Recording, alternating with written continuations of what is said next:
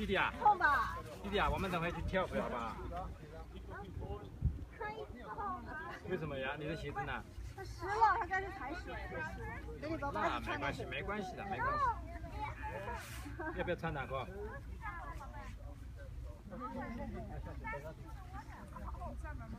两个都洗打湿了。对，它跟那上面完全没脱鞋，然后就是鞋子忘了